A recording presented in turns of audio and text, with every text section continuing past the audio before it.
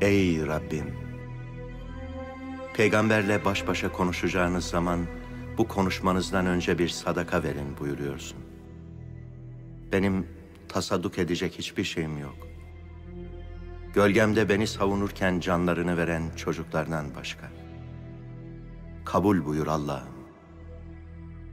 Beni duyur Allah'ım. Sübhan olan Allah.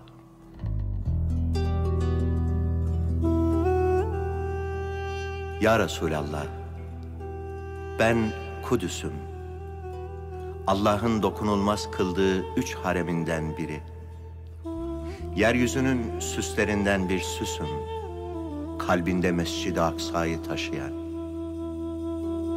Sokaklarında peygamberlerin yürüdüğü, güldüğü ama hep öldürüldüğü şehir. Bu yüzden uzun rüyasım. İniltilerini duyduğun, derdini dinlediğin o kütük misali, beni de duy, beni de dinle. Bugün hem garip hem de mahpusum.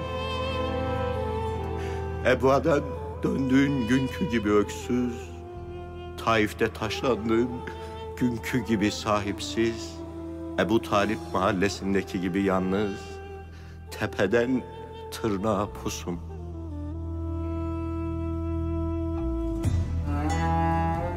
Ben Kudüs'üm, Mekke-i Mükerreme'nin kardeşi. O zemzemle umman, bense kan dolu bir tasım. O şehirlerin anası, bense şehirlerin mazlumuyum. O sevinç gözyaşlarından deniz, ben acılardan bir nehirim. O ayaklar altında kalmasın diye bir İsra gecesiyle şeref verdiğin fakirim. Başım üstüne dedim. Başımla beraber dedim. Sen göklere yükselirken başını ayaklarının altına koyan şehrim.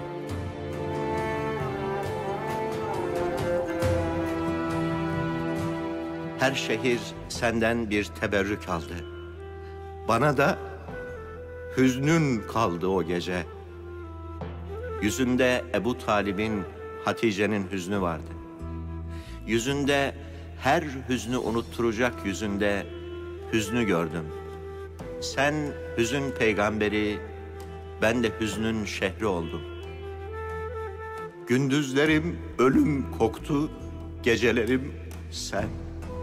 Zeynep'i, Ümmü Gülsüm'ü, Rakiye'yi toprağa verdiğin gibi kaç kız çocuğunu bağrıma bastım bir bilsen.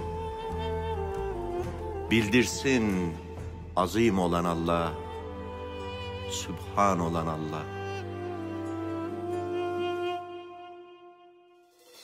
Ben Kudüs'üm, kubbelerinde feryatlar yankılanan, ağıtları saklayıp seher vaktine, Onlardan irili ufaklı kefenler ördüm.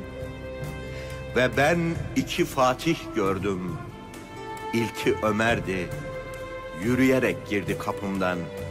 Hem şehrime hem kalbime girdi. Yine sen koptu sabahlarım, akşamlarım. Uzun sürmedi rüyalarım. Sevincim yarım kaldı. Düşlerim yarım. Yine gelir diye beklerken Ömer'i, ikinci Fatih'i gördüm kapımda. Adı Selahaddin Eyyubi'ydi. O nasıl bir oğuldu öyle. Adalet ve merhamet insan suretindeydi. Ve bir muhafız gördüm. Eba Eyyub el Ensari'nin şehrinden.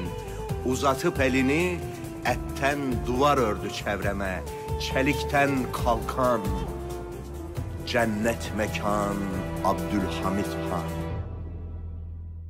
Ya Resulallah, huzurunda sesimi yükselttiğim için affetsin beni Allah.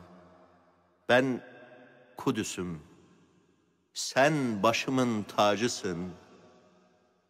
Ama bugün ümmetine küsüm.